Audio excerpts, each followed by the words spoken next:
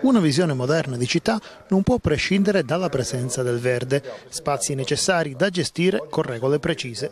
A tal fine l'amministrazione comunale di Catanzaro ha presentato una bozza di regolamento sul verde pubblico comunale realizzata in collaborazione con l'ordine provinciale degli agronomi e forestali. Si è partiti da un censimento per passare poi alla gestione. Per la prima volta mettiamo mano a quello che era una regolamentazione che riguarda la cura del verde pubblico e quindi tutti i benefici che ne derivano da una gestione gestione più accurata e questo naturalmente va visto in aggiunta al censimento che noi abbiamo fatto. Quindi noi abbiamo fatto dei passaggi per cercare di organizzare al meglio l'attività che partono dal, dalla, dal, censimento informatico che definisce in modo informatico tutte le aree eh, che compongono i 100 km quadrati del nostro territorio e adesso con questo regolamento non facciamo altro che andare a regolamentare come devono essere fatte le potature, come devono essere fatte le manutenzioni e una serie di regole che fino ad oggi non ci sono state. Naturalmente questa è una bozza che ci viene omaggiata dall'ordine degli agronomi.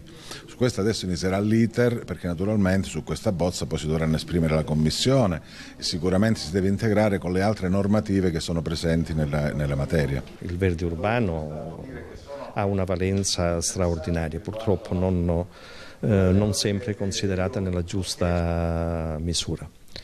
E quindi eh, da questa offerta è nata poi l'idea di eh, iniziare, io mm, lo chiamiamo regolamento perché effettivamente è un regolamento, ma eh, comincia ad essere una sfida eh, questo documento che abbiamo preparato oh, per sensibilizzare ulteriormente e maggiormente chi di dovere all'attenzione sul verde pubblico.